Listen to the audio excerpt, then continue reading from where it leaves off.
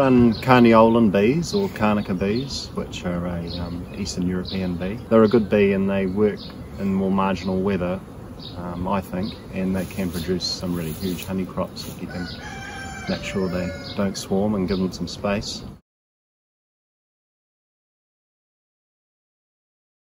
We specialise mainly in bulk honey, but we do do pollination for kiwi fruit, avocados and blueberries. But yeah, mainly the raw honey and up until fairly recently the propolis and beeswax and things like that as well. So I'm based in Helensville. Um, we're commercial beekeepers. We run around 1200 hives, mainly around the Rodney district.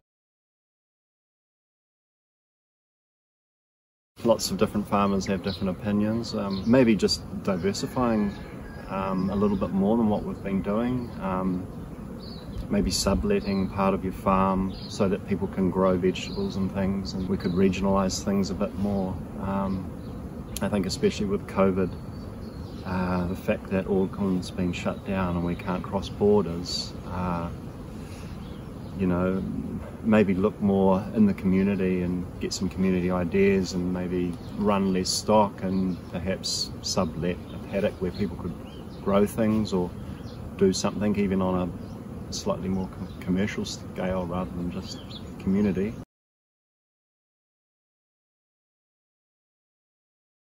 Perhaps the, the honey could be marketed more, um, not so just the Manuka, but focus on some of the other varieties of honey, such as Pohutukawa and Tawari or the Kanuka even.